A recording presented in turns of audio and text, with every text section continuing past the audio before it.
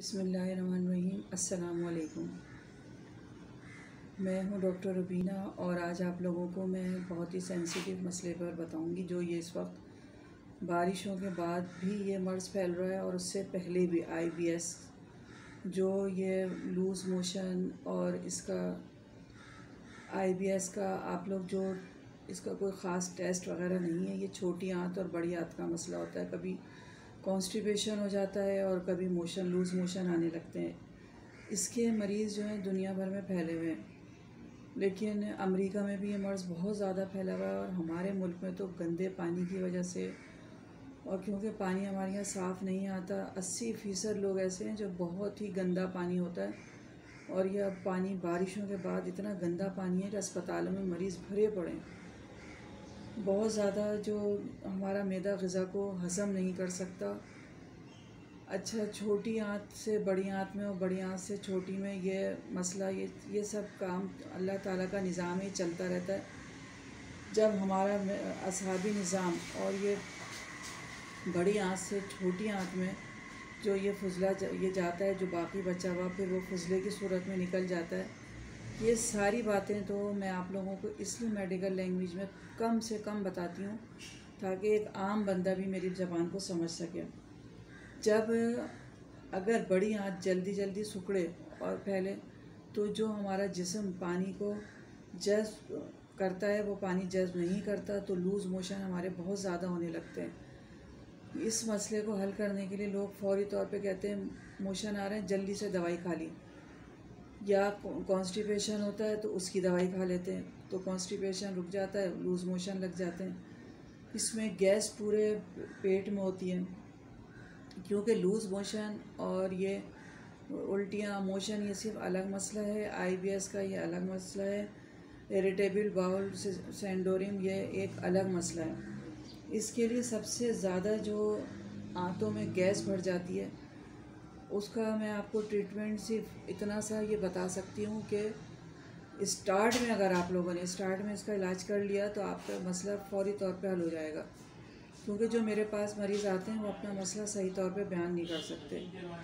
जिन लोगों को टेंशन ज़्यादा होती है आईबीएस का मसला उन लोगों को बहुत ज़्यादा हो जाता है। क्योंकि वो कॉन्स्टिपेशन होता है तो अपना, उनको मसाइल पैदा होने लगते हैं टेंशन लेते हैं। मैं आप लोगों को इसकी एक बहुत ही अच्छी मेडिसिन बताऊँगी और उसको इस्तेमाल अगर आप लोगों ने जारी रखा तो इन ताला छोटे बच्चों से लेके बड़ों तक इसका मसला हल हो जाएगा। अच्छा सबसे ज़्यादा जो हम लोग इसमें देते हैं अर्जेंटम नाइट। मैं आपको दवाइयाँ इसलिए बताती हूँ कि ताकि आप लोग बाज़ार से ख़रीद सकें और ये सारी दवाइयाँ मेरी होम्योपैथिक होती हैं, होम्यो स्टोर से मिल जाती हैं। ये है थर्टी में अर्जेंटम नाइट। ठीक है?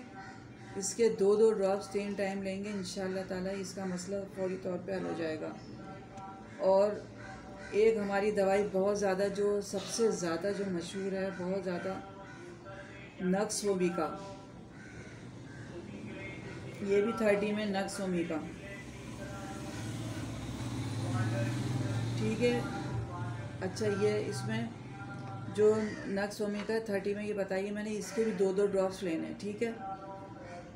मसला समझ में आ गया आप लोगों के? I B S irritable bowel syndrome अच्छा ये जो मैंने दो दवाइयाँ ये बताई हैं बहुत ही बेस्ट दवाइयाँ हैं। इसके अलावा पूरे पेट में जो गैस भर जाती है और वो होती है, उसके लिए चाइना दवाई आती है ये।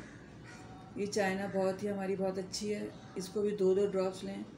पानी में एक कप पानी लें, उसमें वन फोर कप उसमें मिला के लेनी है ये। वन फोर कप एक छोटा कप होता है, जो चाय वाला होता है, उसमें वन फोर कप पानी लें, दो दो ड्रॉप्स तीन टाइम और ये तीनों दवाइयाँ मैंने इसलिए आपको बहुत ही, हमारी बहुत ही इस्तेमाल होने वाली, बहुत ही ऐसी अच्छी दवाइयाँ हैं। इनको आप लोग इस्तेमाल करें इन ताला ये जो गैस का मसला पेट में मुस्तकिल या जो आईबीएस का मसला ये सॉल्व हो जाएगा।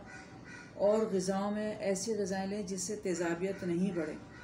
क्योंकि जब तेज़ाबियत बढ़ जाती है, तेज़ाबियत बढ़ने की वजह से हमारी गैस बढ़ती है, गैस पेट में जगह बना लेती है। तो उसके लिए आप सबसे ज़्यादा ये गाय का गोश, चावल, आलू, भिंडियाँ, अरवी ऐसी चीज़ें जो बादी चीज़ें उनको इस्तेमाल ना करें।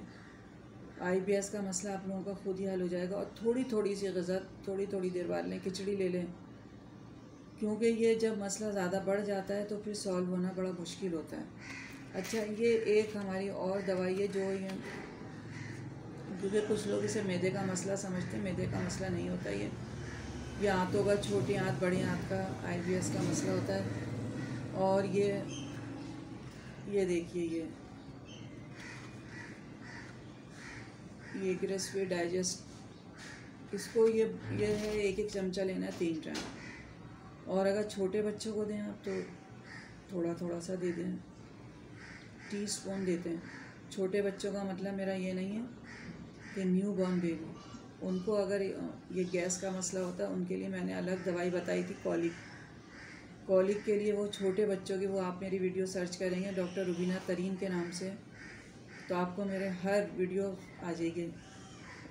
पहले रिसर्च कर लिया करें, देखा करें मेरी वीडियो को और पूरी देख लिया करें ताकि आप लोगों को मसला समझ में आ जाए किस मसले पे वीडियो डली हुई है। मैं सब्सक्राइब फ़र्स्ट टाइम जो लोग देखते हैं फ़र्स्ट टाइम सब्सक्राइब कर दिया करो बेल आइकॉन को इसलिए दबा दिया करें कि सारी वीडियोस जो मेरी डली हैं वो आपके रिसर्च में आ जाएँगी। और लाइक शेयर दूसरे लोगों के भी मसाइल हल हो जाएँ इससे।